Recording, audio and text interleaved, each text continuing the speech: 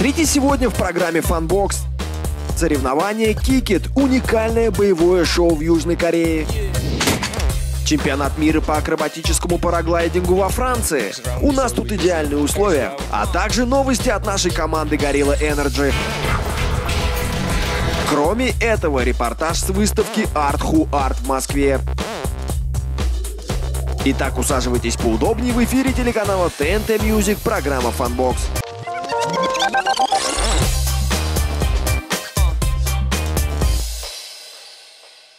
Рад, что вы снова с нами, дорогие дамы и господа. Меня по-прежнему зовут Глеб Болелов, и я вновь появился на ваших телеэкранах для того, чтобы рассказать о последних новостях из мира экстремальных видов спорта. Ну что же, а теперь переносимся в Южную Корею, где прошли соревнования, которые лично я ждал очень долго. Как считаете, что будет, если совместить капоэйру, брейкданс, кунг-фу и карате? Правильно, соревнования Kick It.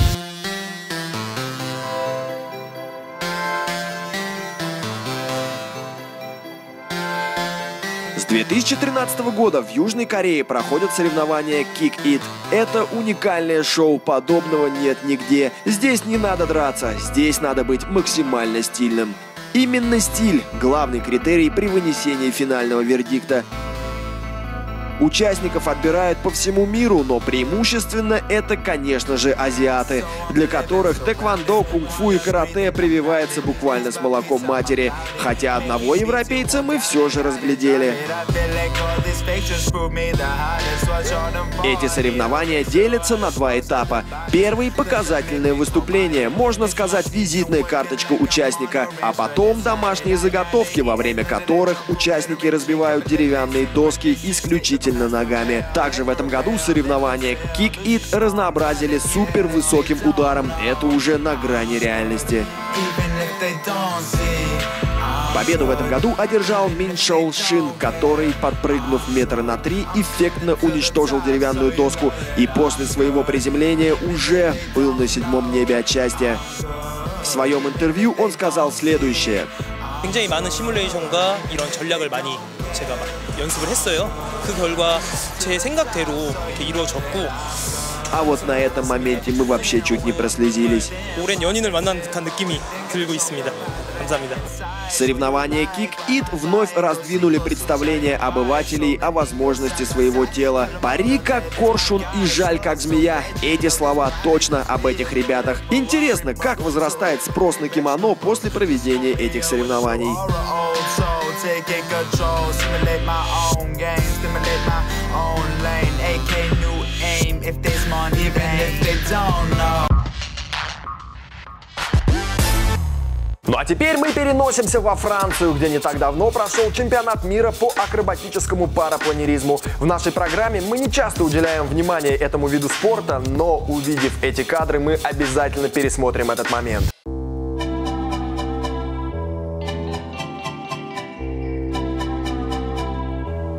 Если провести аналогию, то акробатический параглайдинг — это примерно то же самое, что скейтбординг по отношению к прогулкам на лонгборде. И то, и то происходит на доске с колесами, вот только суть разная. На скейте выполняются трюки, а на лонгборде просто едут себе вперед и получают удовольствие. Так вот, фристайл параглайдинг — это по сути такое же выполнение трюков, только на параплане. И если обычно парапланеристы парят себе спокойно в небе и любуются картиной, то эти ребята порой выполняют какие-то невероятные невероятно стрёмные движения.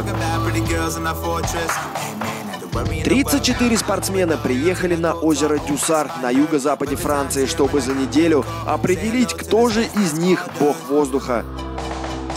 У нас тут идеальные условия. Хочется сказать огромное спасибо организаторам за то, что собирают нас тут. Это большой шаг для нашего сообщества. Помимо сольных выступлений прошли соревнования и в синхронном падении. Участники оттачивают каждое движение до автоматизма. Перекрутить и запутаться в парашютах можно в секунду, поэтому летают они, как говорится, на грани. Напомним, что этот чемпионат мира проходил только второй год, и в планах у организаторов, как написано у них на сайте, превратить соревнования в самое крупное событие в этом виде спорта. Ну что ж, заявка серьезная, так что параплан вам в руки.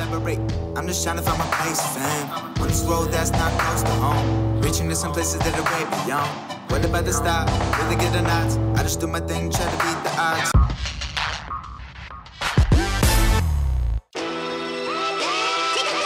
Ну а прямо сейчас молниеносно и беспощадно в нашу студию врывается тим-менеджер команды Gorilla Energy, а по совместительству динозавр отечественного BMX-движения Федор Забалуев. Он продолжает следить за всем, что происходит в плотных рядах нашей команды. Ну а кто, если не он? Привет, друзья! Как всегда, в этой части программы я поделюсь с вами последними новостями, связанными с нашей командой. В июне этого года райдер нашей команды Сема Кутузов внезапно отправился в затяжное путешествие по пяти портовым городам Черного моря. Зачем? Посмотрев тизер к этому видео, вы сами найдете ответы на этот вопрос.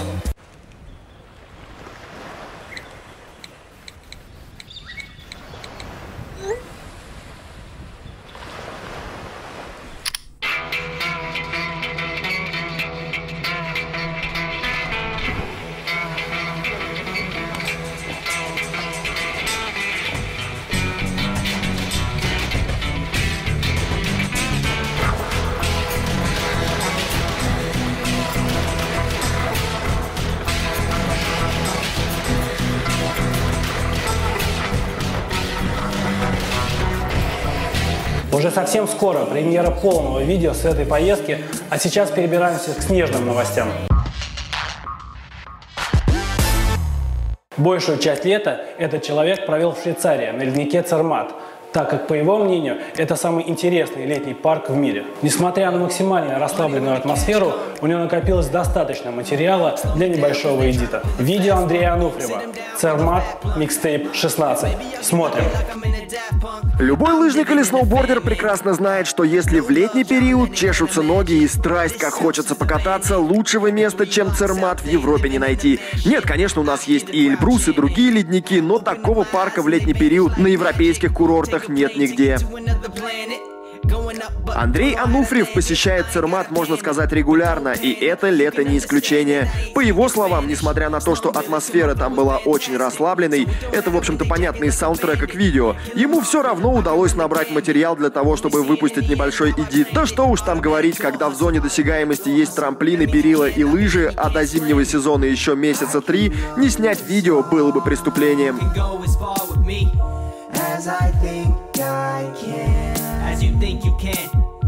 На этом у меня все. Программа FUNBOX продолжается. Эти и другие новости ищи в наших соцсетях. Подписывайтесь, рассказывайте друзьям, ставьте лайки. Пока! Мы на финишной прямой, и теперь вместе с вами с головой погрузимся в искусство. Не так давно в Москве прошло открытие нового арт-пространства. Хлебзавод номер 9 превратился в очередной центр современного искусства. Теперь жители столицы и гости Москвы точно будут знать, где искать хлеба и зрелищ.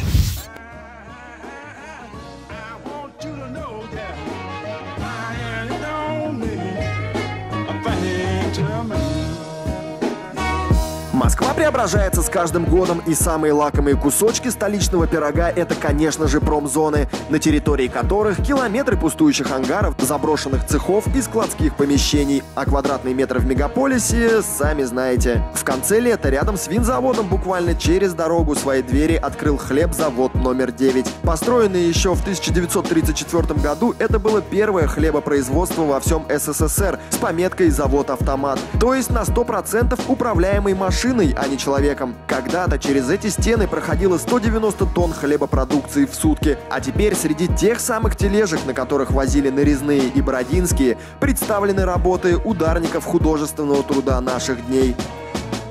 Здесь сегодня молодое искусство, талантливые люди, и это именно то, э, та философия, которую хлебзавод будет транслировать э, вообще на протяжении ну, всего своего пути. Это такое продолжение флакона, творческий кластер. Происходит так, что те, кто хотят нас участвовать, пишут нам сами. И в этот раз пришло около тысячи заявок. Из этой тысячи отобрали всего 70. И тут как раз-таки не обязательно быть суперхудожником. Организаторы больше смотрели на какие-то свежие идеи и новый подход. Поэтому среди работ работ можно было встретить совсем простые и милые творения, типа этих мороженых. Но согласитесь, что-то в этом точно есть. есть многие, кто вообще не занимался искусством. Они прислали нам заявку, но у них был очень классный вкус, видение, идея. И после этого, например, девочка стала фотографом и очень известным фотографом. Просто не будем их назвать по, по именам. Есть художник, которого персональную выставку мы уже проводили, и после этого у него пошла череда выставок. И суть проекта именно в том, что мы даем возможность сделать первый шаг в мир большого искусства. Мы никогда не заявляем себя как какие-то экстра-эксперты, которые кого-то там отбирают, критикуют. Э, Мы ну, делаем, как чувствуем, и надеемся, что это мероприятие вдохновляет э, талантливых людей, и потом у них все очень круто складывается.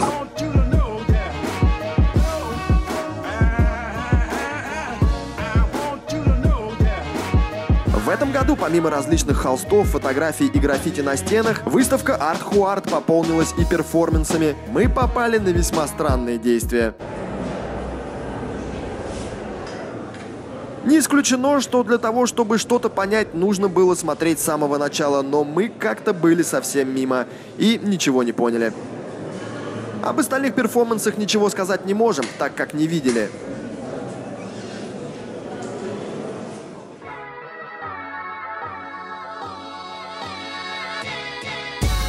Также одной из частей этой выставки стала и музыка. На сцене выступали самые разные команды, которых организаторы отбирали все по тому же принципу. Это то же самое, как и с художниками. Мы точно так же поддерживаем молодых э, артистов, молодых музыкантов.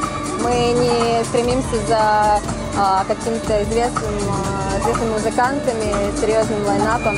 Нам интересно продвигать молодых.